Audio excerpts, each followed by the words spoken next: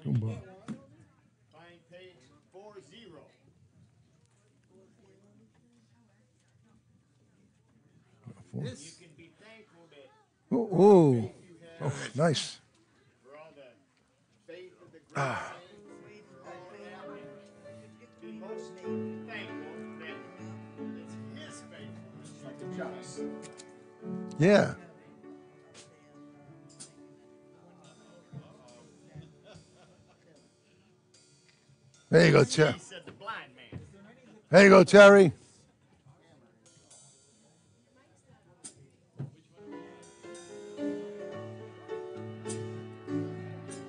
Say hello to Mike, Sam. Say hello to Mike for me, right?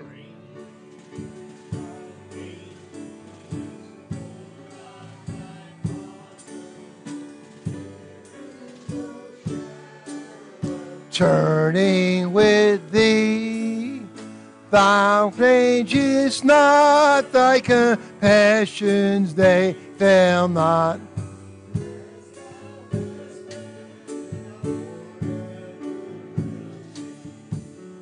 Great is thy faithfulness.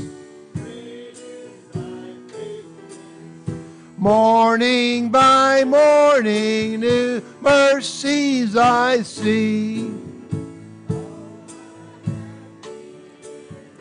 And has provided.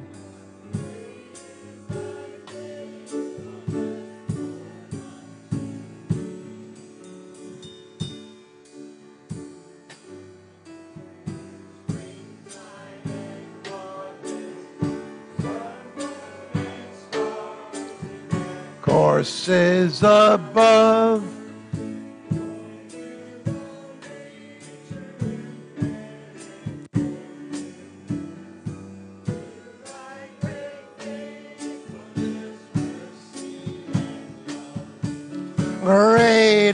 Thy faithfulness. Great is thy faithfulness. Morning by morning, new mercies I see. Thou hast exceeded thy hand hath provided.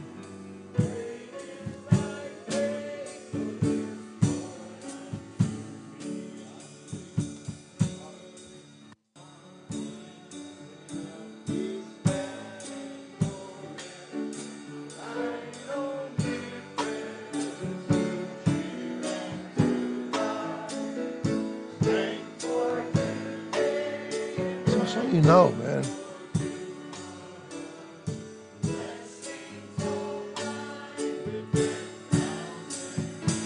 Come on, Terry. Great is thy faithfulness.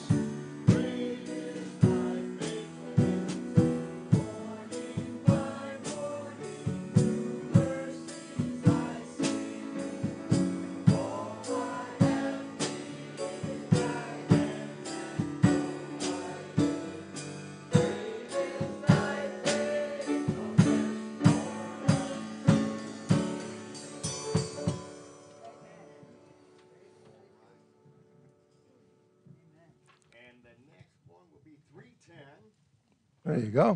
I don't think much of snow when I sing this. A lot of people do. But I do, I am aware of being dirty. I've worked in the dirt. I've worked in sewers. And there's nothing like a shower. Even if you're clean, a shower feels good. Oh, yeah. But there's nothing when you're covered, you can't see but the whites of your eyes with every and any kind of grease and filth and a good hot shower. And sins like that, Yeah. sins like that, at least in our Heavenly Father's eyes, we don't think of it ourselves. No, right. But it is. And you only get closer, and it feels good to know that one day you ain't got to even feel bad about it anymore.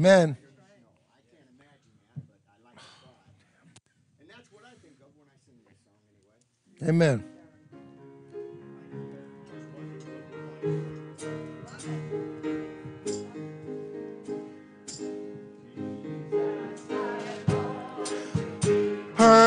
Perfectly whole.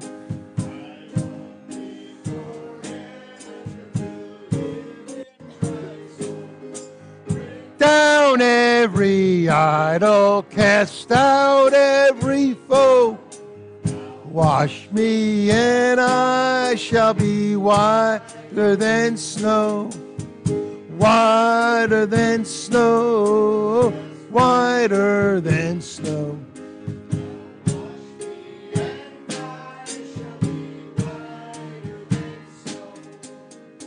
Nice.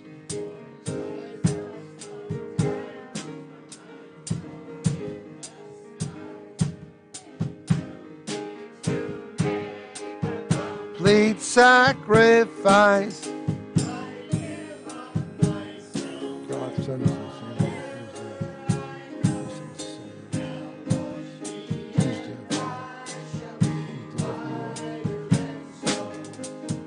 Whiter than snow, yes,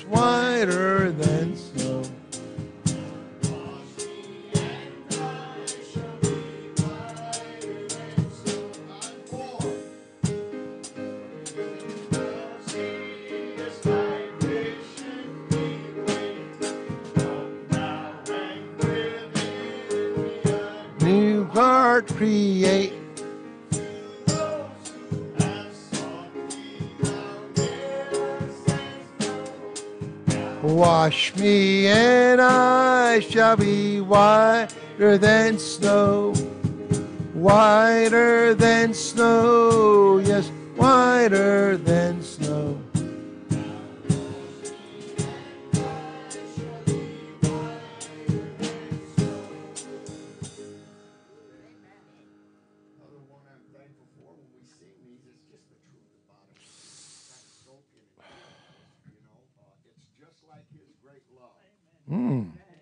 get to experience that more than just in one thought of your salvation, because time and time again I've been able to.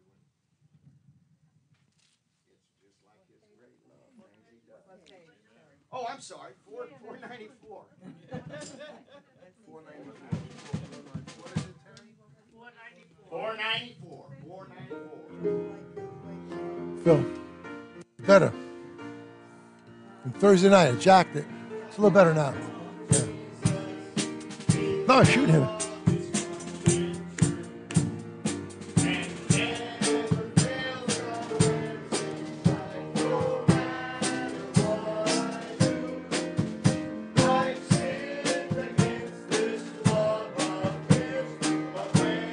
Now to praise. I like this song. I picked it out. Sin cloud. It's just like Jesus to roll the clouds away. It's just like Jesus to make them go away. It's just like Jesus all along the way. It's just like his great love.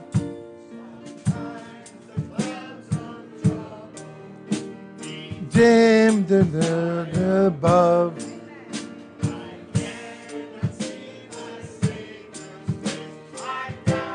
His wondrous love from heaven's mercy seat, beholding my despair. Here it is. Sing the lay is there. Amen. It's just like Jesus to roll the clouds away. It's just like Jesus to keep me day by day. It's just like Jesus all along the way. It's just like his great love. Amen.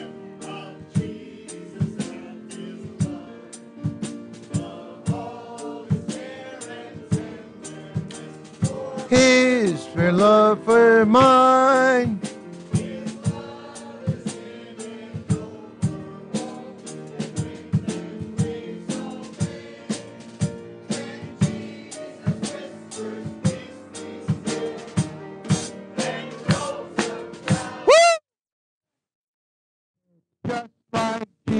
Jesus to roll the clouds away. It's just like Jesus to keep me day by day. It's just like Jesus all along the way. It's just like his great love. Amen. That's good. Thank you, Terry. right. Thank you, brother. Thank you. Stick around. Okay, let's get uh, somebody help out with the offering envelopes. Don't all jump up. Declan, you can help out? There you go, buddy. Come on up, down, palm down, Declan. Thank you. So if you need, listen, stand here, Declan. If you need an offering envelope, raise your hand. Declan's going to help you out. Stick around. Hold on.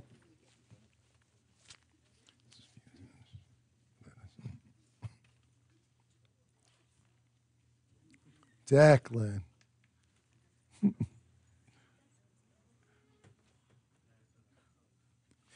After we have our offering, I just wanted to recognize before that we take the offering. Debbie and Terry's anniversary was last week, Le- Tuesday. So we could just, after this, we'll wish them a happy anniversary. 25 years. Yes, Robin, happy birthday. I did hear that. No, you look about 52.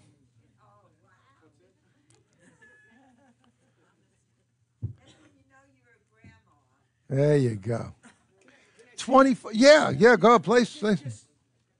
Singing this song a little bit, His Great Love. You know, when it, if you get old enough, you're going to come up against a few walls that feel like that's it, man. Life ain't going to get any better after this. Yeah, yeah. Messed up like it can't get any worse. Found myself at 31 years old. Lost my home, my family, my kids, my job, everything. I was on the street. The turn, man. And, uh, you know, you can't get in that kind of spot and feel like, well, it's going to get better. Mm, mm. And uh, it's up against a wall like that a few times in life, but that time was, uh, that was it. One of those things you just want to end it all. Even tried it, messed that up, believe it or not. But uh, at 31 years old, didn't think I'd make it another day. And was there a few times in life, Lord turned it around. 25 years later, not only straightened out every bit of that mess, added to it double. You know. Yeah, amen. Uh, added to it double. I only had a couple kids, now I got twice that. I got a wife. I didn't even have a wife at the time. I was looking at a lot of trouble with the law. Every bit of it cleaned up, taken care of. Amen. I can't. I could, could spend the rest of the day telling you just time and time again like that. And it's just like His great love, you know. Uh-huh. Sometimes you got to go have a challenge, and nobody likes them, but to see how He can take care of it, i- i- unless you do have it, you ain't gonna know.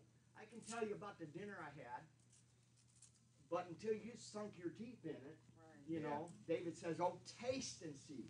You know, that's a physical. You, you got to actually. It's an action word. I, I went to. What, what do you call that?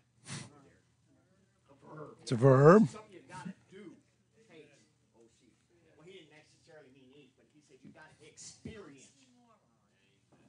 Experience and uh, experience the Lord, and then you can see. See the Lord is good. Well, amen. And a happy anniversary. Happy anniversary to you. Happy anniversary to yous. Happy anniversary. To Terry and Debbie. 25 years. Remember that wedding pretty well. Remember that wedding? Emily was a flower girl, five years old. And Jack Patterson sang downstairs in that church in Jersey. And I'm telling you, he was younger then, and he sang, and the roof, he could sing. Oh man, the my daughter's upstairs playing on the third floor. They heard him singing. It was unbelievable that day. That was something. Amen. All right, lead us in word of prayer, Phil, for the offering. Thank you, Terry. Father God, we thank you for the opportunity to be in church today, Lord, and uh, thank you so much for our church here, Blessed Hope and Coram, that has the truth, Lord. And thank you for a pastor that's been putting it out there all these years, Lord. And heck, I've been here 20 years myself. And Mm, amen. thank you for keeping us here, keeping us alive, Mm, and Hey, Yes, thank you, Lord. the lights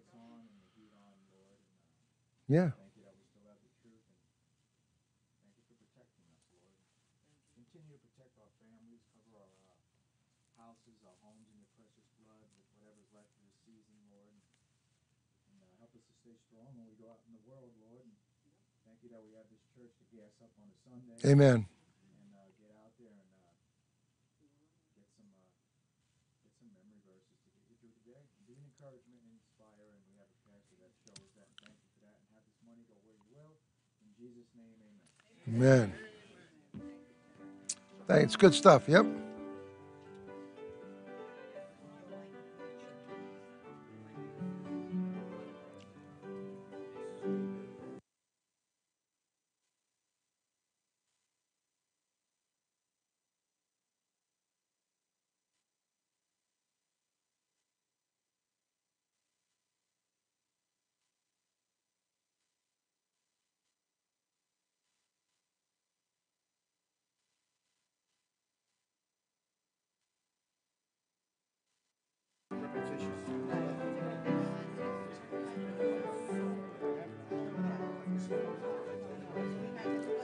Home run.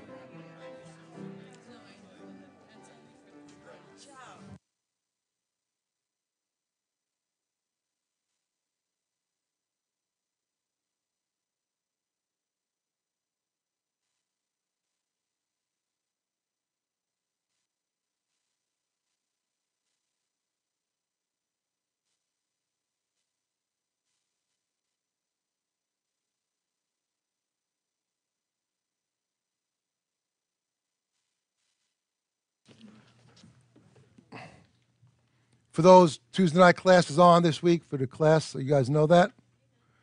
And we have the recognition of Debbie and Terry's 25th anniversary. Praise the Lord. Um, we have uh, Josephine's son with us here today, Sam. So I might want to say hello to Sam. Sam, how about Sam? Stand up. Can you do that? Say hello to Sam. He's a neighbor. Doesn't well, he doesn't live next door, but Josephine does. He stops by. He's there. I know that's Mike's brother. I know Mike a little better. I remember Sam was at your baptism at Ray's Ray's uh, house, and that's when I first really met him. Uh, pray for Sam. He went through, you know, a tough. Last Sunday after church, we went to a funeral, and uh, his wife had suddenly passed. I'm sorry, Sarah. It was unexpected and sudden, and that's tragic. Um, young, young, and Sam's here, and uh, you know, as Phil talked to him a little bit, Josephine's talking, and Sam. All I can tell you is that, like Terry just said, just like he said, I was perfect, man. That was impromptu. He wanted to give up his life then, didn't know what the Lord had for him. And he turned it all around. Don't quit, don't give up, don't get angry at God. Listen, open up your heart and ears and listen. God has something for you. All right? Something has something for you. Sorry, I mean, nothing could replace what happened. Um, people, we lose people during our life down here at times, and it's very difficult to go on, but can't quit, and you got to pray that God opens heart, mind, and just like mom, later on in life found joy and peace. And you could get it, Sam. We're here for you, buddy. All right? Amen. All right. Uh, let's open your Bibles to, uh, we have nursery. No, I think we're good right now. We have nursery. Exodus chapter 20. I'm going to ask you to do two things this morning before we start. Exodus 20 should be easy to find, second book of your Bible. Next book, a little more tricky. So I'm going to ask you to find it now. So it'll limit the time of diversion trying to get there. So find a bookmark, put a bookmark in 2 Kings 17. So I'll give you a chance find it now. Exodus 20 should be pretty quick to find that one. And 2 Kings 17, you know, if you need to find it, find it. I'd appreciate that. This way I won't have to wait for you when I turn there. Otherwise, I'm going to move on. And then after that, you're home free. After that, it's going to be Matthew 22. I mean, come on, you can find Matthew in a heartbeat, right? Matthew, first book of the New Testament, then you're good. Uh, you don't have to put a bookmark there. 2 Kings 17, I'll put a bookmark there myself. Practice what I preach. This way it's easier right here. See? See? Look, there you go. I don't need a bookmark, but I'm putting there.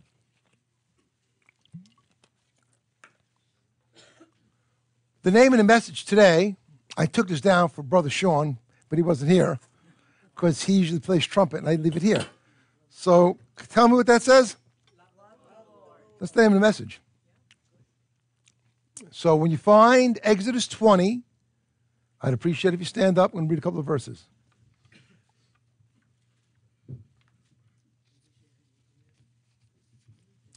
So listen, just listen. Faith comes by hearing, and hearing by the word of God. Sometimes just listen. Exodus chapter 20, I'd like to look at verses 1 through 4. We're going to read that. and God spake all these words, saying, I am the Lord thy God, which have brought thee out of the land of Egypt, out of the house of bondage. Here it is. Thou shalt have no other gods before me. That's number one. That's commandment number one. Two, thou shalt not make unto thee any graven image or any likeness of anything that is in heaven above, or that is earth beneath, or that is in the water under the earth. I was going to stop right there because this goes on, but let you get the, the premise here, the, the first two commandments. Have no other gods before thee. One, two, make not graven images unto it. So the first thing and the most important really is have no other gods before thee. And then they'll make an image that you'll worship that other God. God was very much against that. We're going to get more into it in the New Testament and follow this through. I'll give you four points this morning. Four points are going to be this the example, the evidence, the essence, and the end. The example, the evidence, the essence, and the end. So, number one, this, and then we'll sit in a minute and we'll pray. This is the example. God gave the law to Moses to give to the children of Israel as an example of how to live. It was the standard. It's the bar is set high. You say, Pastor Joe, nobody lived that right. Nobody lived it exactly. The only one that lived it perfectly was Jesus Christ. Okay, we'll get to that to the end. But here, nobody lived it, but it's still the example. He left it there for a reason. You say, You're not under the law today. No, but if you break the law, you pay the price. So you still want to have a moral aspect of that law in your life. Have no other gods before thee. The Lord's going to repeat that in Matthew 22. We'll go there in a few minutes. But right now, let's think about this as the example. That's the standard. That's the ultimate. And that's what the Apostle Paul said. He said, The law is holy, the commandments holy, just, and good. And the purpose of the commandments was to give Israel a barometer and, or criteria in which they had to live by. And that was laid out for them in the Ten Commandments given to Moses. So, with that said, number one, that's the example, and the message is love the Lord. Okay, let's pray. Brother Zach, lead us in a word of prayer, please.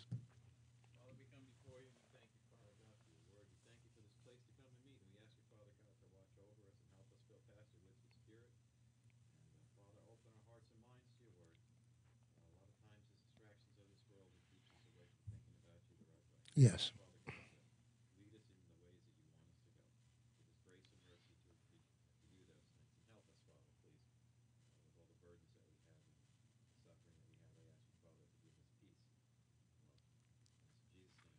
Amen. Amen. Thank you. Be seated. Thank you. So, first point is the example. It's pretty simple. I mean, laid out the example. Say they didn't keep that. No, but it's still the example. And it's going to come back to help them understand. Again, the purpose of the law was to give Israel the dictates in which they had to obey and how to live. When they violated that, uh, that's when problems came. See, nobody lived it perfectly. And the law not only was holy and perfect and just, but the law, the Bible says, is a schoolmaster to lead us to Christ. So when you realize in your life that you can't keep those Ten Commandments, you realize that you're done. What do you do? Turn to Christ. I had somebody tell me one time I was witness to this girl on the train, and after I was going through things, she says, "Well, what are you saying? That there's no hope for me?" I said, "No, no, no. I'm not saying this. I'm saying you realize that if you, you think you're doing good, you're still breaking the law. There's a lot of things in the law that you can't commit. Listen, nine of those Ten Commandments are moral. One of them is ceremonial. You know what the ceremonial one? That's a Sabbath. That's ceremony. You none, none of you obey the Sabbath. So, you know, someone says to you, witness to somebody in my office years ago about that, and he goes, ah, I believe in the Ten Commandments. Yeah, I believe, that, I, I honor the Ten Commandments. I said, you do?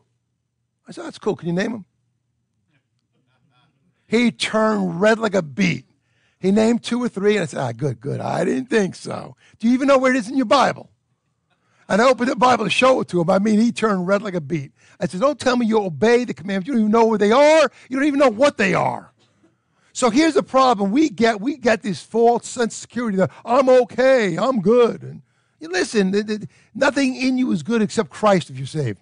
And the other part of you, if you are good and you're trying to do right, you're gonna you're gonna find truth. God's gonna lead you to the truth. That's the bottom line. That's Romans chapter 2. God will lead you right there. That's Acts chapter 10. I'm not going to go there. But number one is the example. I'm going to get on to the main part of the message. Let's look at the evidence now. Let's look at 2 Kings chapter 17. I asked you to find it, so now you'll turn there. I want you to find verse 33.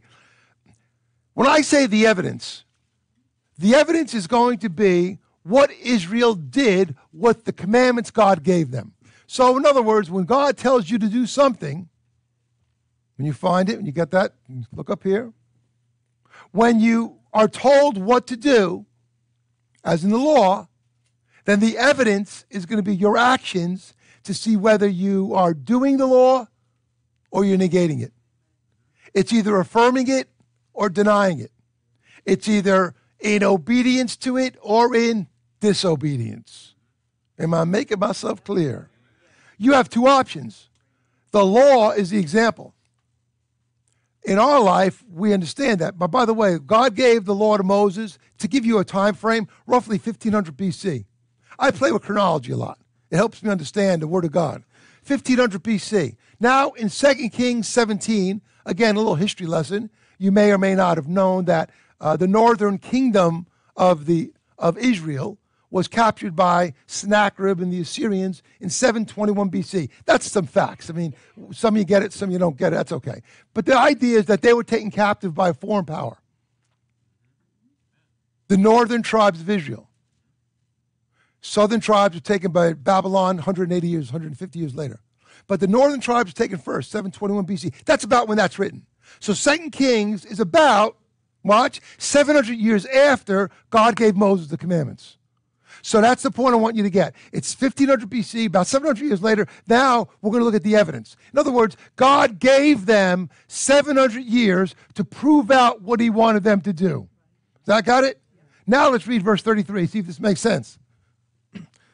Oh, it's a good verse. Oh, it's a tough verse. How's it, Joe? Are you kidding me? Oh, yeah, pay attention. Going to get, you're going to get it. They feared the Lord and served their own gods, after the manner of the nations whom they carried away from thence. One more time, verse 33.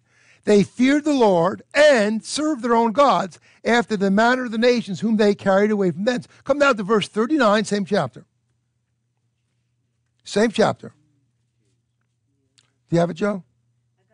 Second, Second Kings, second, 17, honey verse 39 when you get there. 17, verse 39. There you go. 17, verse 39. There you go. Okay, got it? But, okay, but the Lord your God ye shall fear, and he shall deliver you out of the hand of all your enemies. Howbeit, they did not hearken, but they eh, did after their former manner so these nations feared the Lord, one more time, and served their graven images, both their children, their children's children, as did their fathers, so do they unto this day. One of the craziest verses in your Bible I just read to you. It is the classic dichotomy. It's telling you on one hand, apparently a contradiction, but it's not. Oh, they feared the Lord, but then they served their own gods. Have no other gods before thee loved the Lord. But they, they feared the Lord, but then they served their own gods. Hey, you know what? There's no different in today. You come to church on Sunday, praise the Lord, and then you act godless on Monday. You think it's changed any today? It hasn't. You come to the Lord, you say, praise the Lord, and then God knows the Sometimes we do that. And you fear the Lord, and you say, I really do love God, and you might but then sometimes your actions don't support what you believe. Come on. Be honest. I mean, that's the bottom line. God knows what you do and what you think and what you say, and it doesn't line up with what you believe. And you'll come and say, Praise the Lord, and you mean it. But then, you know, they catch you on a bad day, and I don't want to be around when you explode. Come on. And then it's like, no, hey, listen, I'm not picking anyone. I'm just trying to be real. That's what that verse says. You fear the Lord and they serve their own gods. That is Christianity today, 2020 20. It's America. I'll give you a chance to let that digest that for a minute. I'm dropping a bomb on you here. You know, that's religious but lost. That's someone says, I go to church and I do this and that, and, that, and then during the week they're involved in some, some, some, some, some chicanery. Yeah, very good. They're involved in a con, I was thinking. They're involved in a scam, and, and yet, yet with the, outwardly they look good. They'll go to church, they even dress up, look nice, and say the right things. And God knows where they go during the week. I'm not saying everybody. I'm saying at general. You know, you get, you ever hear, you see the track called Religious But Lost? Have you see that? In other words, someone could be outwardly religious, have their ducks in order, but then inwardly they're full of dead men's bones. I think Jesus said that. He talked to the Pharisees who wore long robes and they looked all right and they were offended at you even eating with dirty hands. But then at the same time, he said, Are you kidding me? The Lord said, You're worried about me? They're not eating with washed hands when you got dead men's bones inside you and you're wicked? Are you kidding me? The Lord rebuked the Pharisees because they were more concerned with what we looked like, how we made the appearance. They weren't worried about what was going on inside. He said, I'm telling you right now, you could act pious, but I know you're not. And until you come to that understanding, you'll be religious but lost. And, that, and even Christians who are saved, here's the example. Now, if you say, Pastor Joe, that doesn't apply to me, I'm saved. If you're saved, say amen. amen. Well, then it could still apply to you because sometimes you can be saved and be backslidden. And sometimes you can be saved and still do something that you know is not consistent with what you believe. Somebody say amen. amen. That's true. That happens to the best of us. But then when you come to that point, you wake up and say, Lord, forgive me. Help me to do right. I don't want to live like this. I don't want to be like this. I know it's wrong. Why am I doing this? I need help. Amen. I fear the Lord, but sometimes I serve my own gods. Come on. That's what that verse says. Wow, what a condemnation. By the way, you know what that is? That's the evidence. The example was Exodus 20. The evidence was 2 Kings 700 years later. What's the evidence in your life going to be? Hey, did you ever hear this expression? If there was a trial to convict you of being a Christian, would there be enough evidence to prove them, them right? Come on. Come on, you're on trial being a Christian. I'm going to start talking to people, your neighbors or people you work with. Did you know that this person was a Christian? I had no idea. They never, they never mentioned Jesus once. They cursed a lot. I don't know. I don't know what they believe. I didn't know. They used it as a curse word. I don't know. Are you kidding me? This person is real. You know, when you fight, if they if they had a trial when I worked in my office, is he a Christian? They would hug me by my short hairs, amen. I they would hang me up there. I'd be done. They were yes, there was enough conviction, there was enough evidence to convict me. They knew what I was. They knew who I I was a Christian. They knew I wasn't perfect. They know no, Joe will tell you the truth. Hey, listen, I'll tell you what. Here's the thing. That's all right. It happens sometimes. You're new here. That's cool. Turn that thing off. Kill that baby. Shoot that thing. You know, at, the worst time, it does it all time, right? That's all right. Here's the thing at the judgment seat of Christ, judgment seat of Christ, you and I, Christians, will be brought before the Lord. And this is Bible. Some of you know it, some you don't. He's going to say, You will be judged not for your salvation, but for your service. For the things, watch, done in the body, whether they be good or what? Bad. Come on. Good or bad. You know what that is? Evidence. The evidence you God has on you is you. And when you stand before God, He says, "Okay, let's let's look at your life. I'm not gonna let's look at your life. What, would you do? Let's play it out." And He goes, you know, he shows you the screen. Boom, pull down screen. Hey, check it out. See our new pull down screen? Come on, some of you saw. Come on, give an amen. Hey, Doc. Eh. It's high tech, man. And we saw, saw a great movie back on New Year's Day. But here's the thing so the evidence is going to be your life. It's going to get quiet here in a minute. And some of the stuff you did doesn't, doesn't line up with what you believe. But come on. I'm going to say amen for you. Amen. I'm guilty. You're guilty. So I know I'm, if I'm guilty, I know you're guilty. So I'm telling you, I'm, I'm telling you, you're going to be guilty. Don't, don't, don't act pious. Just be real right now. So be honest. Say, okay, some of the stuff didn't line up. Amen. So get it right. Because there's evidence. There's evidence. In a trial, they have to bring evidence. When the evidence is going to be produced to show it's true or false, that's what's happened in your life. And the evidence in Israel condemned them. They condemned them. They knew what to do, and they didn't do it. Oh, you know, they said, oh, yeah, we love the Lord. You know, Jeremiah, when he's preaching to the king Zedekiah, the last king of Israel, before he gets killed and taken to Babylon to captivity, he says, Jeremiah, we've got the temple here. Nothing's going to happen to us. That's what he said. And, said, and Jeremiah said, Zedekiah, you, you understand what I'm saying? God told me you're going to fall into judgment. Repent, amend your ways, get right. No, no, no. We've got the temple. God will always protect us. You read the book of Jeremiah, you tell me what happened. He didn't protect them because he warned them for 40 years towards the end, and then he lowered the boom. You know, I'm telling you, church, you are God, you are living in the best time to be alive as a Christian. In the case, it's the worst. In the case, in some parts, it's the worst because you've seen a lot going on. It's near the end. But the best time, because you're saved by grace through faith, it's the gift of God, not of works that any man should boast. You are just saved simply by faith in what Jesus Christ did at Calvary. And that if you have faith in what Jesus did, watch, you get earn God's grace. You accept Christ, God accepts you. You accept Christ, God accepts you. It's that simple. Faith is on you, grace is on God. How do I get God's grace? Demonstrate faith in what Jesus did. If you demonstrate faith in what Jesus did, you get God's grace. I want God's grace, but I don't want to, I don't want to believe what Jesus did. Then you'll only get a measure of grace. You'll get a modicum of that grace. You're not going to get the whole kit and caboodle. You'll only get that when you receive Christ as your Savior. Then you avail yourself to the spiritual buffet called God's riches at Christ's expense or grace. Amen? And then you're saved. You get in. You, are once you're in, say amen. amen. When God warned Israel, and then we think because America and I'm a Christian, nothing's going to happen to me. Be careful. Okay? Uh, put that up be careful that you think because you, uh, you, you, even believe the King James Bible that nothing could happen. Are you kidding me? Are you kidding me? You have the truth, like Phil prayed. You're in a church that preaches the truth. And yes, I listen. I got my faults like you got your faults. God's protected me and saved me from my sins. But I'll tell you something else. I don't ever stand up here and lie. I'm going to tell you the truth. Always. Same with you. You should be honest. And when you come to church, you want to hear truth. Amen. All right? And what you do with that truth is on you. It's on me too. By the way, do you ever think before I preach a message, I preach to myself? I these messages that I come up with, I preach to me first.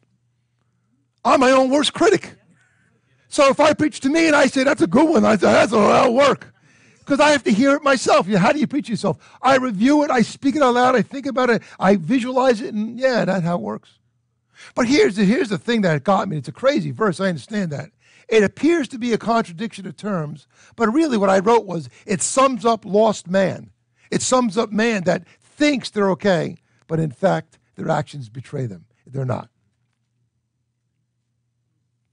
What's the evidence look like for you? What's the first commandment? We'll go there in a second. Love the Lord the God with all the heart, thy mind, thy soul, strength. Oh, you shall have no other gods before me? Come on, commandment number one. Love the Lord, have no other gods before me. Say, I have some other gods before me that I, I listen, you could have recreational activities. You could have things you like. Just let me make this perfectly clear. I don't want anybody misunderstanding me. We have in our church here, there's going to be a multitude of, of uh, diversions that we have. And I, you know, I like sports. Okay, that's that's you, some of you guys know that. If you listen to my preaching, you'd figure that out. Okay, uh, some like horses. Okay, come on. Some like cars. I like cars too. Some like cars. Some like arts and arts and crafts, and some like being a chiropractor. come on, every help me out. Some like health. Some like music. Some like to sing. Some like to dance. Am I getting close? You, am I making myself clear? So, some like weapons, some don't like weapons. I listen. There, there's a plethora of things that you can enjoy and get involved in, and that's fine. Don't let those things become your gods. Enjoy it enjoy it. I don't miss church personally to play sports. Okay, I'm just being honest with you. But you're the pastor. Before I was the pastor, I quit a basketball league back in the day because I got I was getting married. I wanted to spend time with my wife, and they made fun of me. Come on, cuz no, leave me alone. I, and then I got saved and it was all over. Then I'm spending time reading the Word of God, meditating. See, that's what God gives me a chance to play again now, Louis, because back in the day, that's what I did. Hey, you know what? The, the beauty of it is God uh, gives you things you enjoy. Enjoy them. Come on, enjoy them. Enjoy your life. Enjoy your Christianity. But don't let those enjoyments and temporary distractions become your gods. Love the Lord thy God. Fear the Lord. You'll have no other gods before me. Let's have Ashley come and play right now. hey, listen, that's the truth. And, every, and I've just mentioned a few. There's plenty more. I'm not going to get specific, but you have to think about your own life. What the things, and I'm not getting on that. I'm making that clear. But don't let it become an idol. Now, how do you know when it's becoming an idol, Pastor Joe? You know. It's all you think about and all you want to do. And all of a sudden, oh, yeah, yeah, yeah that, oh, yeah, okay, yeah, praise Jesus.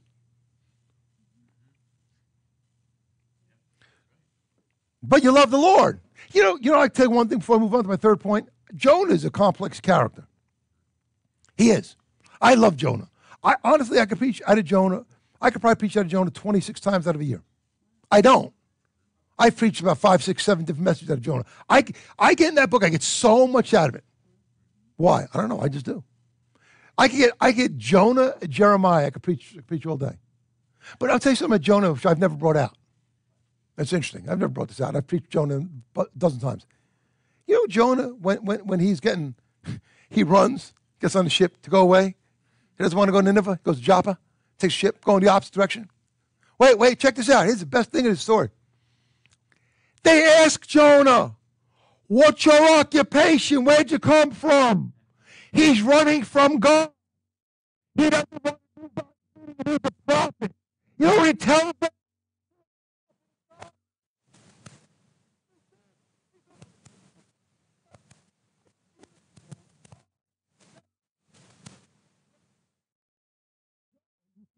Yeah. What are you doing on the ship? I'm running from God.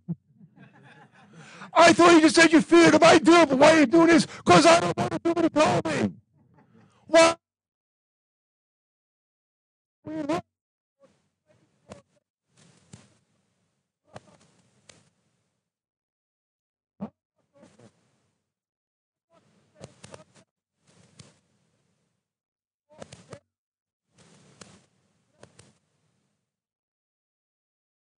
I give Jonah credit for one thing.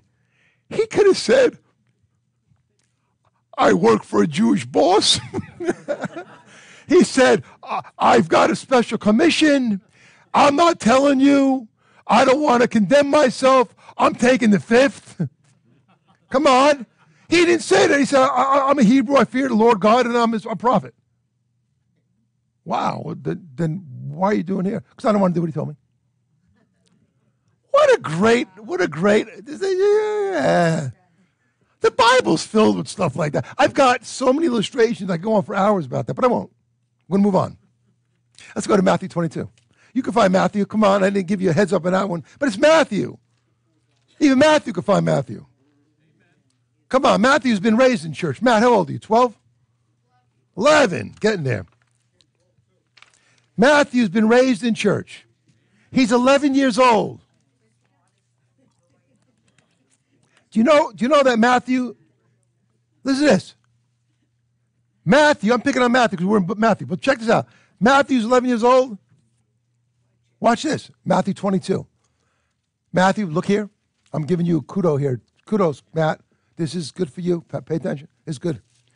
Matthew only knows this church. Amen. Say amen, Matt. Amen. No, good. Give me a good amen. amen. There you go. Get some umph. Like you hit a home run, a kickball, and you, hey, Matt. Look, Matthew only knows this church. Some of us got saved late in life, came out of a variety of backgrounds Catholic, Lutheran, Pentecostal, wacky Baptist, whatever, you know, name what you want.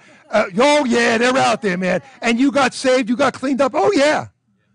It doesn't matter. It matters you found. He's been raised in this church. So there's going to be a lot more held responsibility for you, Matt. You 11 years old, you know the books of the Bible. You know where to turn, right? Mom's you pretty good? Let, me, you beat her. Nice.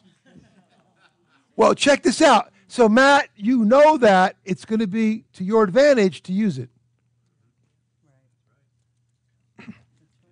I didn't find out about the Bible until I was 27. I made up for lost time, Matt. I didn't find out until I was 27. And then when I got it, boom, it was all over, man. So you got a head start on me. Matthew 22, let's look at it. Matthew 22, we're going to look at the essence. Oh, what are my points again? Ready? The example, the evidence, now the essence. Matthew 22, verse 36. One of the great, great, great verses in the Bible. Here's our Lord speaking. Everybody got Matthew 22, 36. Say amen. Hey, a question. Master, which is the great commandment in the law? That's pretty simple, right? Jesus, what's the great commandment in the law? Jesus said unto him, Thou shalt love the Lord thy God with all thy heart, with all thy soul, with all thy mind. This is the first and great commandment, and the second is like unto it. He adds a twist now. He adds a twist. Remember the second commandment back in Exodus 20 was make no graven images unto the false gods? Now this second second one he changes. Second is like unto it, thou shalt love thy neighbor as thyself. Now watch this. On these two commandments, verse 40, hang all the law and the prophets. On these two commandments. But weren't there a lot more? Yes. He says, you know what? Ready? Here's the third point. This is the essence of the law. Are you with me? The essence. Boil it down. Give me the condensed version. I want to know really the nuts and bolts. Or they say in business, get to the bottom line. What's the bottom line, Jesus? I love, okay, here you go. Love the Lord of God with all the heart, the mind, soul, and strength. Love the neighbor as yourself. You do that, you got it good. You could do that perfectly. You're good. You don't need me. You're good. They don't. They didn't. That is the essence of the law. So, what is the essence of Christianity? You know what it's the essence? It's the main heartbeat of it. It's what it really means. If you somebody asked you to, to describe a movie or a book you read, you can, if I, I read hundreds of books in my day, I read a book, it could be 400 pages. Can you tell me about that book? Well, I can't tell you 400 pages. I'm going to give you a synopsis, right? I'm going to give you the essence of the book. If you watch a movie two hours long and you have five minutes to explain it, you don't have two hours. You give them the essence of the movie. Am I making that clear? The, Jesus did the same thing. He gave them the essence. He said, Look, love the Lord thy God and love your neighbor as yourself. You do that, you're good. Those two points. The essence. Hold on, Robin, pay attention. Écoutez. The essence of Christianity, ready, is love. What's that say? What does that say? Love the Lord. The essence of Christianity is wrapped up in that one word love. It's God's love for you at Calvary. It's your love for Jesus Christ. It's you demonstrating that love to others. If you love the Lord thy God with all thy heart, thy mind, thy soul, thy strength, you love thy neighbor as thyself, you are good. That is what God wants. That's the essence of what he wanted to do. And if we could somehow wrap our heads around that and realize that's all we need to do, which is a lot, is put God first, put God first, have no other gods before me, love the Lord, and then love others. See, like say, look, you know, I don't love someone like I love my wife. Well, you know, that's obvious. But that doesn't mean I don't love you. I do love you. And I'm, I, I um, that is that I'm, I'm listen. This is an act of love. You know, if I wasn't saved and I and I didn't get, I wouldn't be doing this. I ran a business in New York City. I mean, that's what I would have been doing. All right, not Canal, Madison Avenue, Uptown, baby. Watch this. But you know the funny thing is, you know, here's the thing. What is Christianity? It's love. For God so loved the world that he gave his only begotten Son, that whosoever believeth in him should not perish, but have everlasting life. By the way, it says perish, not die. Perish means you die and go to hell. And God so loved the world that he didn't want you to do that. He's not willing, Peter says, that any should what? Perish. But they're all come to repentance. That's no different for you, me, anybody. We all need to come to that place. The Lord, forgive me, wash me your sins, wash my sins in your blood, and save my soul in Jesus' name. That's all it takes. You do that, and you start a new life in Christ. Here's the thing I want you to remember, though The essence, the essence, the essence of the Bible is wrapped up in love. The essence of Christianity is love. Love thy neighbor as thyself. What's the 11th commandment? A new commandment. It's found in John 13. Ah, this is my, that my commandment, a new commandment I give you, that you love one another as the Father loved you, as I have loved you, you love them. By this all men shall know ye are my disciples if you have what? Love for one another. Come on. That's John 13, 34. If we demonstrate that love, that is a you're wearing your faith on your sleeve. That's your identifi- identification tag. That's you wearing a dog tag in the military, identifying who you are. That's your business ID saying, let me have access to that room. I work here. I'm a doctor. I could get in the room. What is your identification? It's love. I'm connected to the one who loved the world. And by God's grace, I'm loving others. And I'm loving them by giving them the truth and, and being kind to them too. I don't I don't have a mean bone in my body. I don't argue with people, fight with anyone. I just try to do right, keep my eyes on the Lord, and help those I can help out. For that, I'll be condemned or acquitted. that's that's that's my testimony. That's my life. And you know what? I like doing it. I like teaching. I like preaching the Bible. I like reading the Word of God. I like explaining it. I like that. That's what I like. That's what I do. I didn't have to do this. I ran a business in New York City. I didn't have to do this. I made a lot of money when I did. I mean, and that's the truth. But I mean, I'm happy doing this. Come on, somebody say amen. Now, if I could do this and get the money I used to make, that'd be really good. that'd be heaven. Come on, you got to laugh it up here a little bit. You know, the Lord is funny because the Lord changed it here. I'm going to give you, I'm going to go wrap this up in a minute. He changed it in Matthew 26. He said the second is love thy neighbor as thyself. Well, in Exodus 20, he said, Love the Lord thy God, have no other gods for me. Second one, make no graven images and don't bow down and worship them. So, wait, wait a minute, Lord. It'll, Jesus has the right, the liberty. He write the book. It's his book. It's his story. That's his history. And you know what? He's got the right to say what he wants. He says, okay, it's not going to condense it for you. Love the Lord and love your neighbor as yourself. If you do that, you're good. That's the essence. They failed at that. Truth be told, we fail at that. Here, that's our neighbor right there. See, I love my neighbor. Come on, Joe. That's good, right? She got in. She, she'd see me shooting baskets. She was go cleaning up the yard. And, Hi, Pastor. Hi, Joe. How are you? We would chit chat, talk a little bit. She went to Lutheran church. I didn't say anything to her. She'd see, nice. Hi, how are you? How are you? I would say, how you doing? Going to church? You enjoy it? Okay, good. Where's your church? Told her it was. One day, Bernadette has a ladies' meeting, as she has this Friday. This Friday. I mentioned to Joni if she wants to come, but you know if she's offering. It, eh, you talk to Bernadette this Friday, and the ladies, you know, you've had, you know the drill. The ladies that know it, right? No. There you go. You get them with your stomach. I'm telling you, man. But you know what? So my neighbor, Joe, years ago, Bernadette's having a ladies' meeting, as she does again this Friday.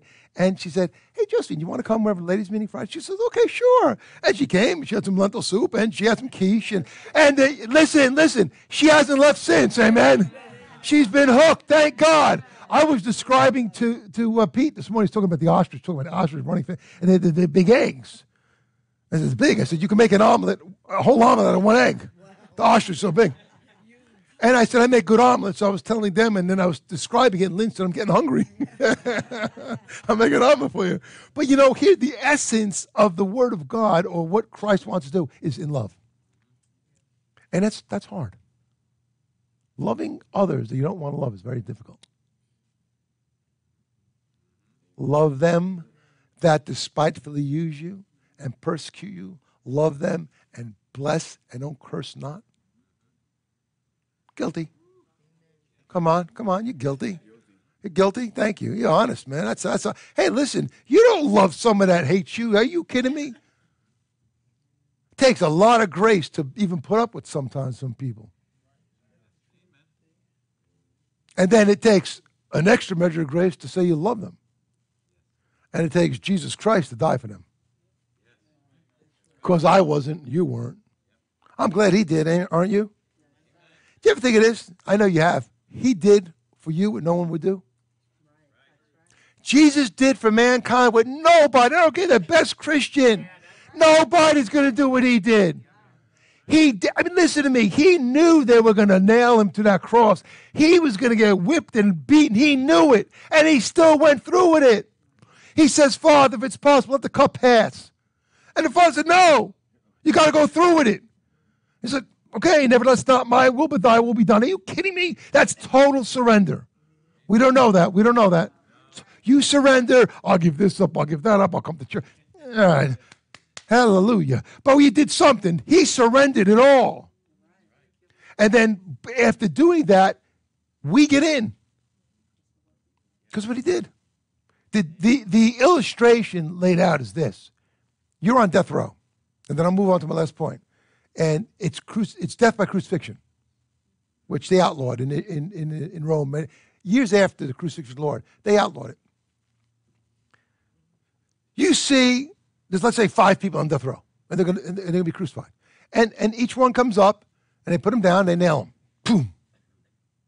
I'm not talking about low finishing nail. I'm talking about a big nail like that through the wrist, radial. Bang! Both sides. Through behind the Achilles here. Didn't break a bone. Nailed it together uh, to, to, screaming pain. I mean, come on, I hurt my finger, I hurt. Screaming pain. And then, and you're watching this. The anxiety, the fear is gripping. You can't even breathe. Next one, same thing. You're fourth in line.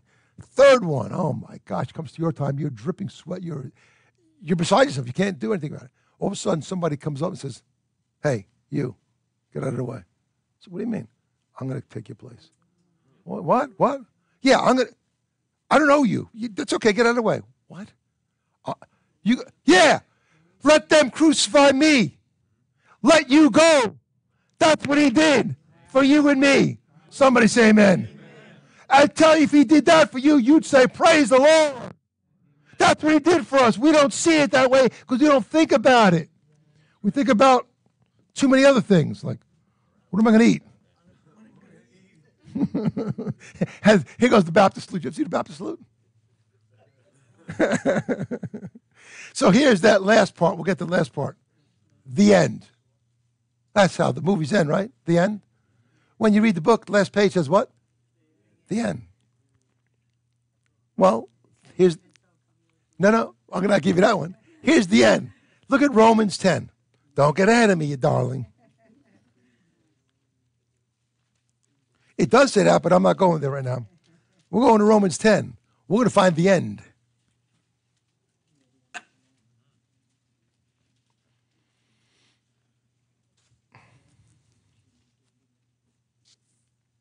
Here's the last part of it. Watch. Romans 10 4. Here's the last part, church. We have the example. Was the law, what we were to do, the evidence, basically what you did. The essence. What does it really mean? And finally, the end. Romans 10 4. What a great verse. For Christ is the end of the law for righteousness to everyone that what? Come on, he's the end of the law of rights for righteousness for everyone that believeth. What do I need to do to get God's righteousness? Believe. Believe what? Jesus died for my sins. Jesus is Son of God. Jesus buried, rose again, third day according to scriptures. Gotta believe that. Believe that he sat, he went up to heaven. He sat at the right hand of Father. I believe that. Do you believe that he bodily resurrected? Yes. Do, I, do you believe he, he died for your sins? Yes. Do you believe that was real and true? Yes. And that he was sinless? Yes. He did that for my sins? Yes. I believe all those things. Check, check, check. That's what it takes. Then, if you believe that by faith, you get God's grace. And if you get God's grace, you get into God's kingdom. And you're in. That's all there is to it. That's the end. The end is Christ is, listen to me, the end of righteousness, for, for the law of, for righteousness for all those who believe.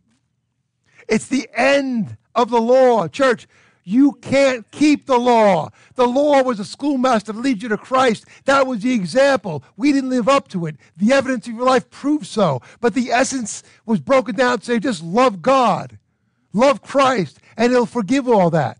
And the end is that Christ paid the price. He is the end of the law. You have, if you're saved, watch this. You know what the Bible says in Colossians 1.27? Christ in you, the hope of glory. Oh. Do you know you have inside you Jesus Christ living? Jesus Christ kept the law. He was perfect. He was perfect. He didn't break the law. So you have the law keeper living inside you. Hey, Pastor that's good. Th- thanks. You have the law keeper living inside of you. So I can't keep the law. You can't keep the law. Guess what? I got someone inside of me who kept the law. He kept the law. He's in me. So when God sees me, he sees his son who kept the law.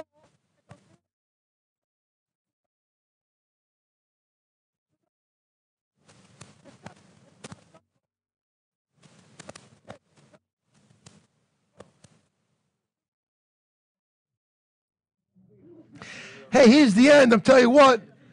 The Bible says this Christ hath redeemed us from the curse of the law, being made a curse for us. Galatians 3.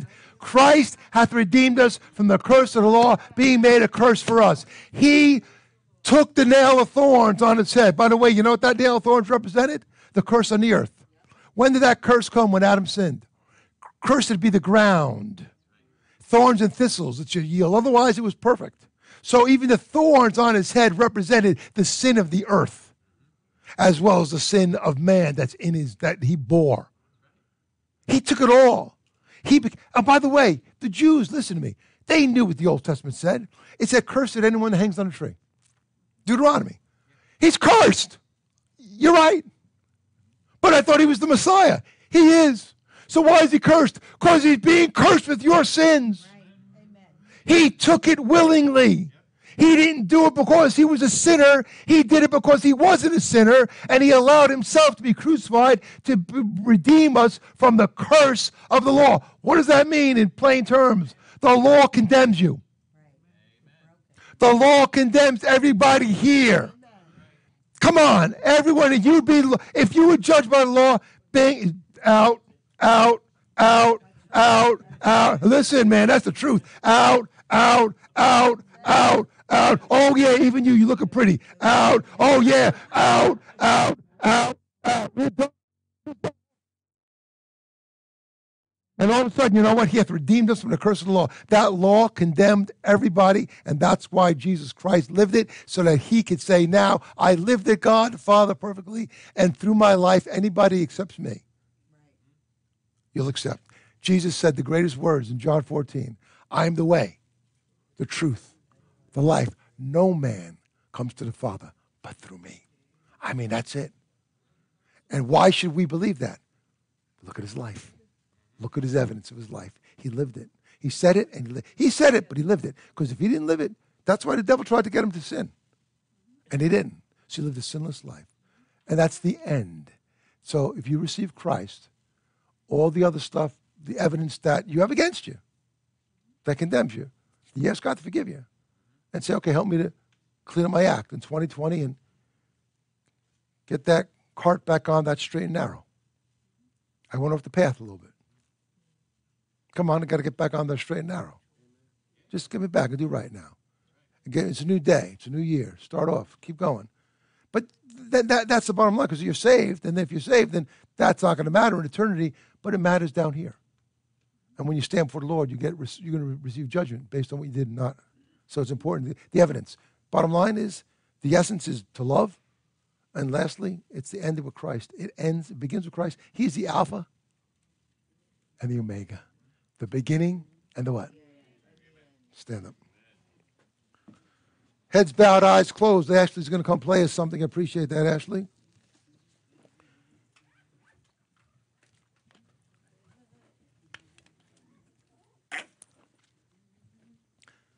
Love the Lord thy God, all thy heart, thy mind, thy soul, thy strength. There's enough right there to, to get us down to the altar.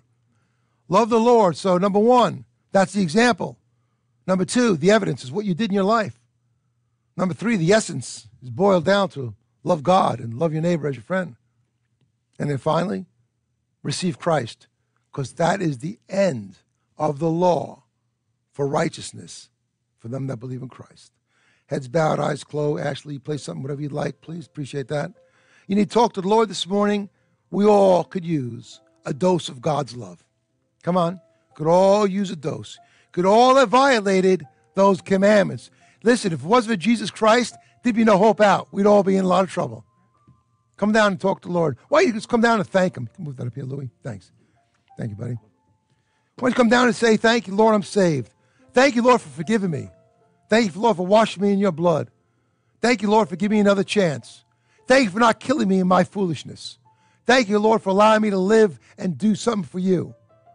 Come on, church, talk to the Lord. Come down and pray. Ask Him to help you. Pray in your seat. Pray at the altar. Don't leave church here without praying. Ask God to give you another chance and say, I don't want to be like Israel that knew what to do and didn't do it. I don't want to be like a Christian that knows the Word of God and says, Praise the Lord, but doesn't want to live it. God, help us all, forgive us, and help us most of all to learn to love the way you'd want us to love. Help us all. It's not easy, but by your strength, I can do all things through Christ, which strengtheneth me. Come down and pray. Maybe you need prayer today with a loved one. Maybe it's for your husband, or um, your wife, your, your, son, your daughter, um, a friend. Come pray. Ask God to help you. Love the Lord, church, with all the heart, thy mind, thy soul, thy strength. This is the first and great commandment. Let's pray.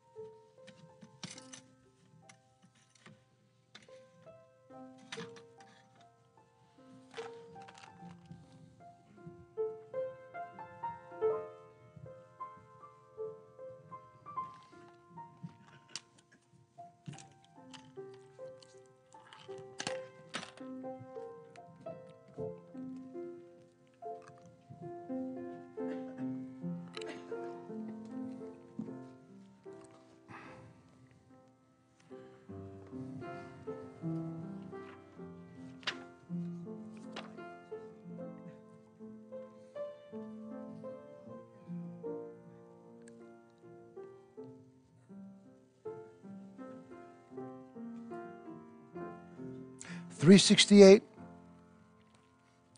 Let's stand up, please, church. Sing 368. We will sing, uh, let's see, sing three stanzas. One, two, and four. One, two, and four, 368. Let's stand up and sing it out.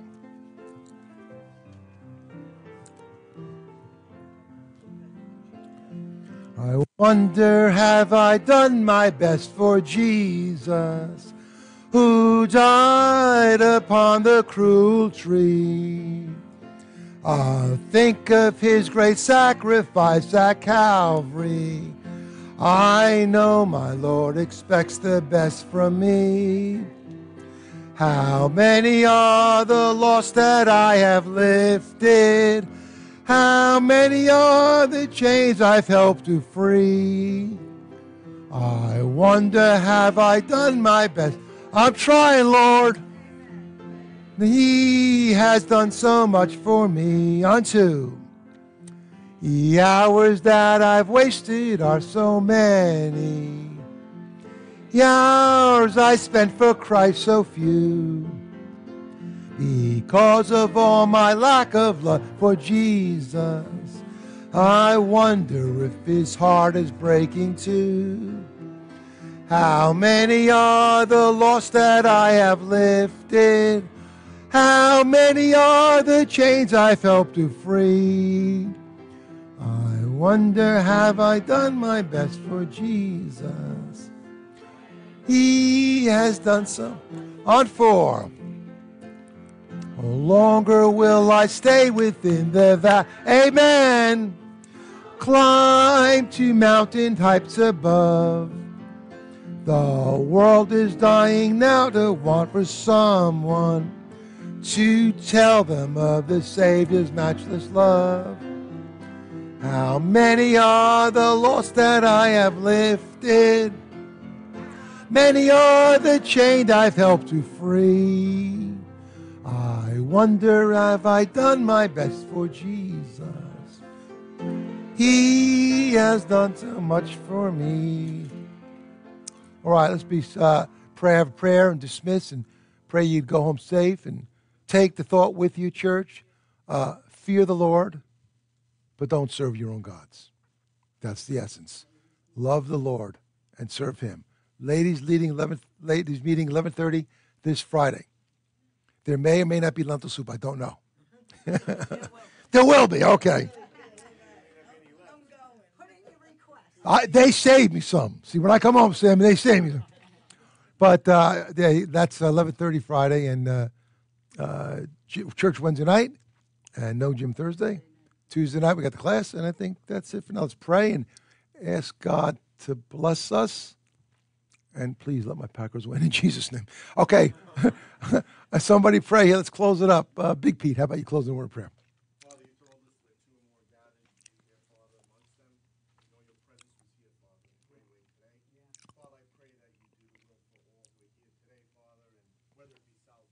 Yes.